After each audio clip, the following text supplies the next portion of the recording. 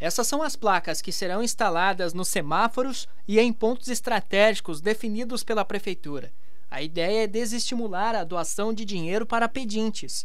A campanha Não Dê Esmolas, Dê Oportunidades tem ainda como objetivo impedir a exploração do trabalho infantil nas ruas, reduzindo a evasão escolar e não deixando que dependentes químicos usem a esmola para sustento do vício. A gente às vezes se livra das pessoas dando lá um real, dois reais no semáforo. Isso aí nós estamos só perpetuando esse assistencialismo. Então, na realidade, é fazer com que as pessoas, os nós que tenhamos carros, que estamos no, no trânsito do dia a dia, não vamos dar mais esmola. Por quê? Porque a pessoa utiliza dessa esmola para o seu vício ou talvez até para outros fins. Através da campanha, o poder público promete desenvolver ações a fim de recuperar as pessoas que vivem em condições vulneráveis atualmente e realizar parcerias com a iniciativa privada, incentivando o morador de rua a procurar auxílio nas instituições e órgãos de assistência social do município.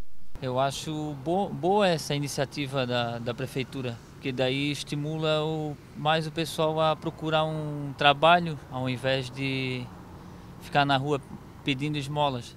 Concordo com isso, porque a gente está incentivando, motivando a esse pessoal continuar na sinaleira. Não deveriam. O projeto de lei, que é de autoria do Executivo, já passou pela Câmara, foi aprovado pelos vereadores e devolvido ao prefeito Mário Hildebrand, que deve sancioná-lo nos próximos dias. Temos aí alguns exemplos de que alguns jovens né, de menor, inclusive, estão pedindo dinheiro em, em nome da família, que a mãe e o pai estão tá com problemas de doença. Enfim, nós temos caminhos, sim, nós temos secretarias competentes para atender essa pessoa que está vindo de outra cidade ou o próprio blumenauense. Temos aí programas para que nós possamos é, ter realmente incentivo a essa pessoa que está necessitando de dinheiro.